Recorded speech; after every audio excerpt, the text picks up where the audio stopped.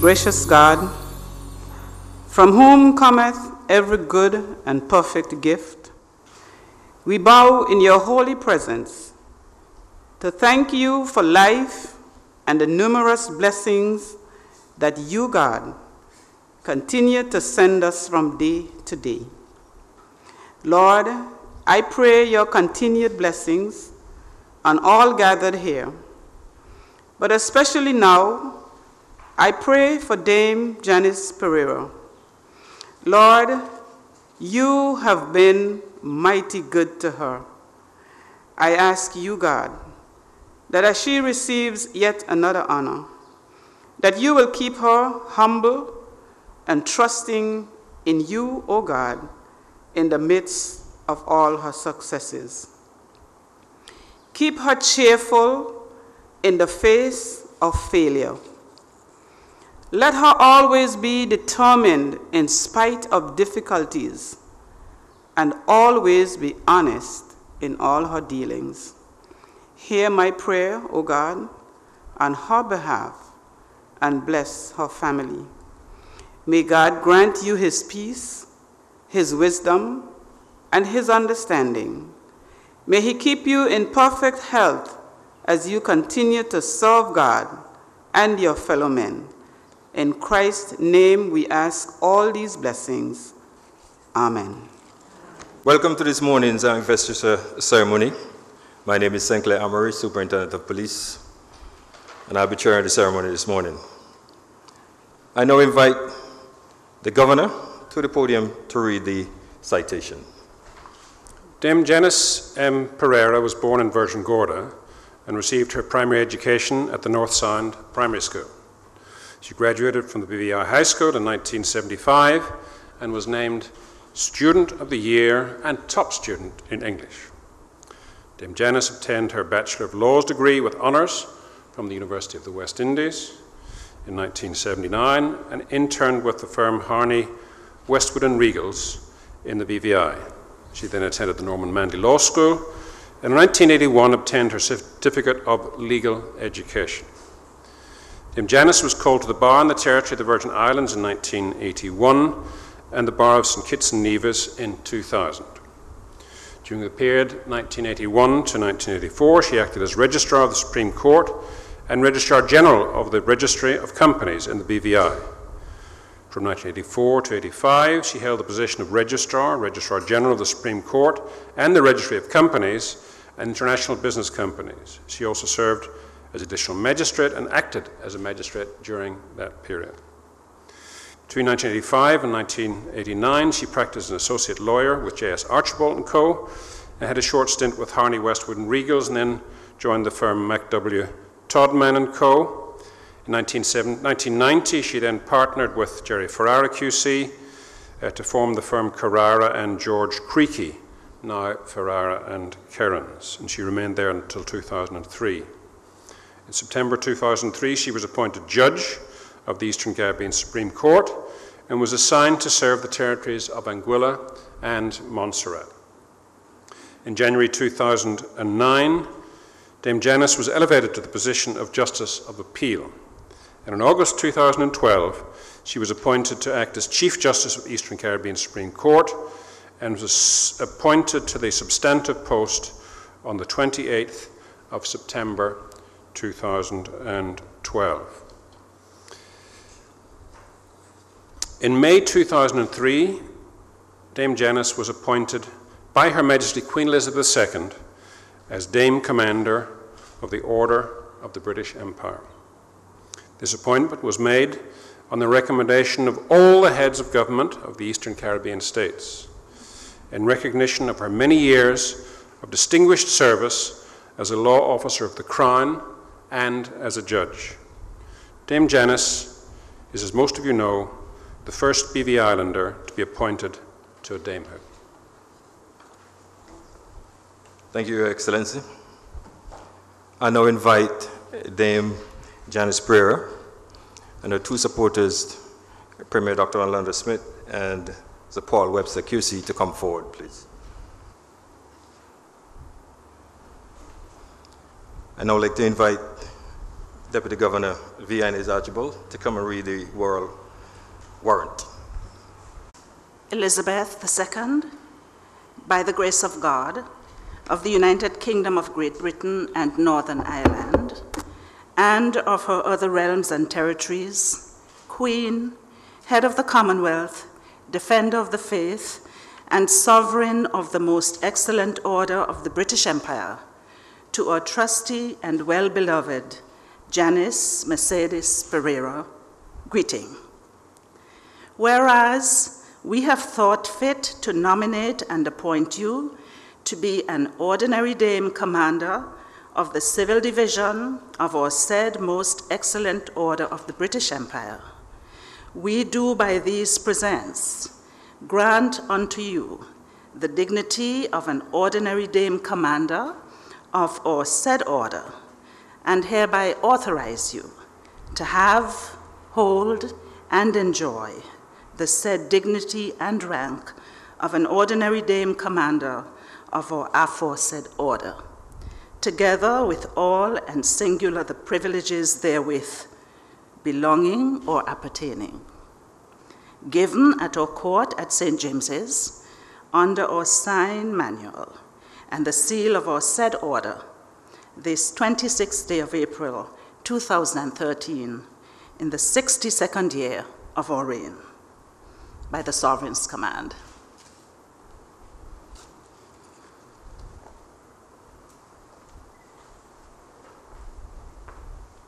Thank you, Madam Deputy Governor. I now invite the Governor to present the insignia and royal.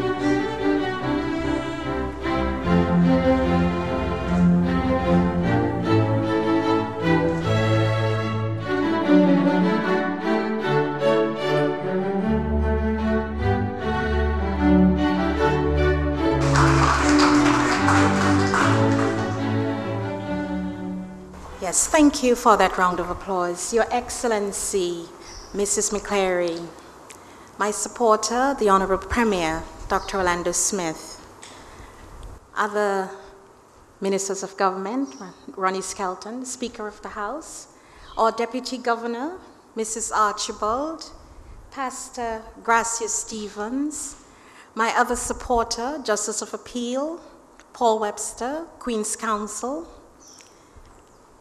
honorable judges, Justice Ellis, Justice Bayer, Justice Bannister, Honorable Attorney General, the President of the BVI Bar Association, and my other friends over here, and other colleagues, Queen's Counsel, Mr. Farara, Miss Penn, my sisters, and I always tend to leave the best for last, my husband, Joseph Pereira.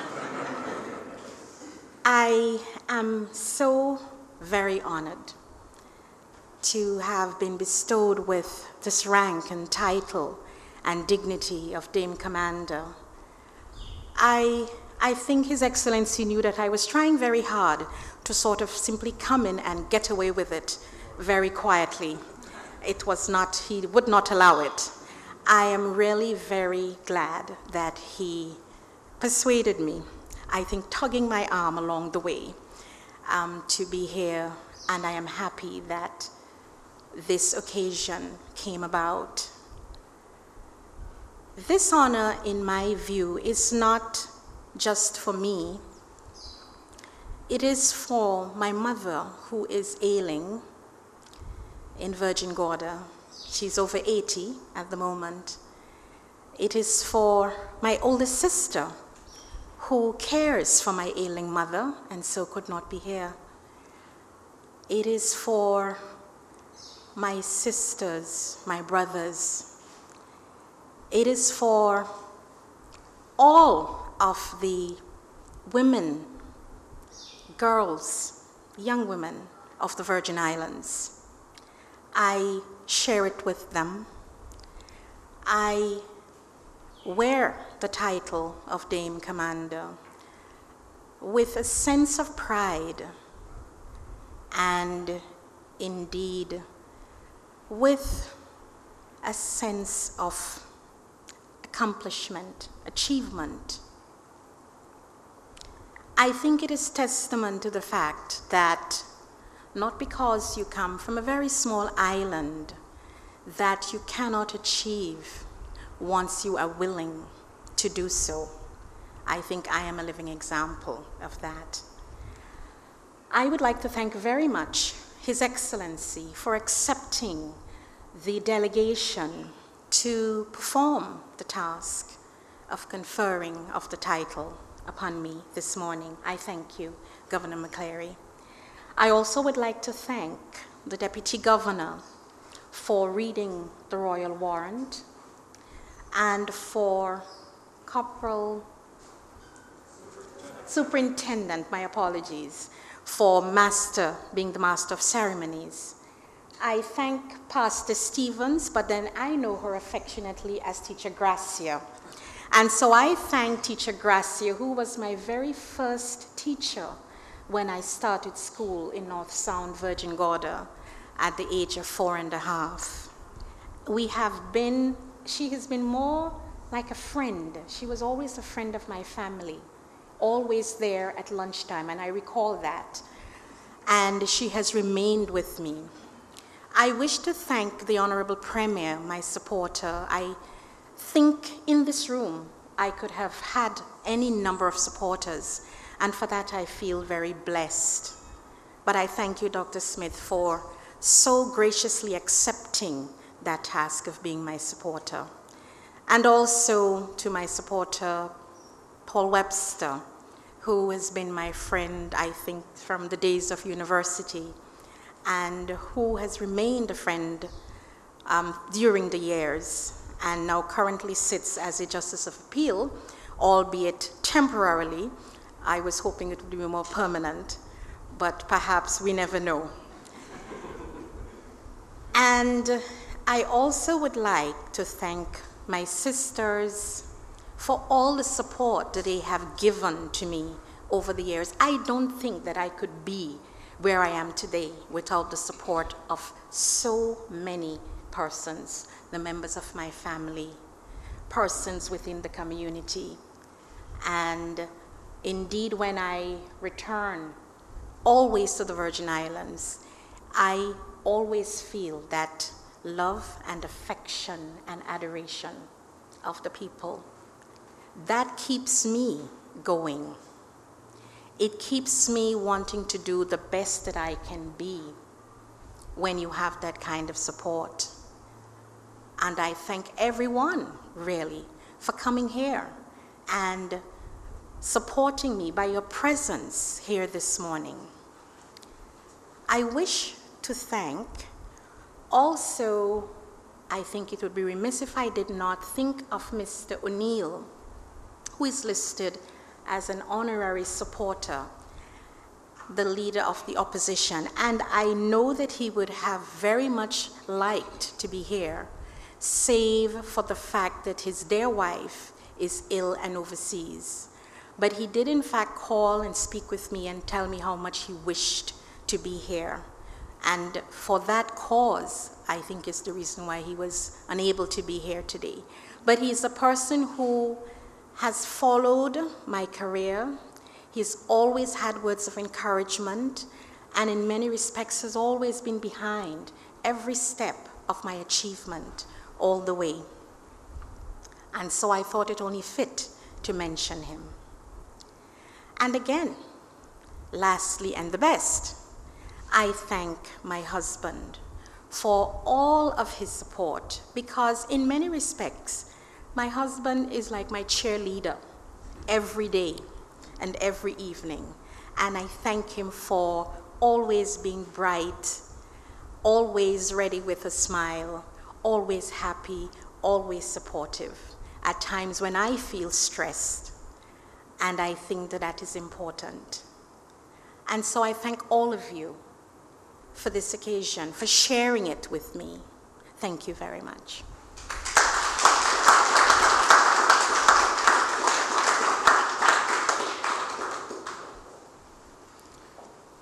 Ladies and gentlemen, this concludes our this morning's uh, ceremony.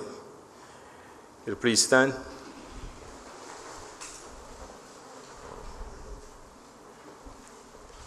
We'll now have the exiting of the governor, followed by the deputy governor, by Dame, Premier, and other persons.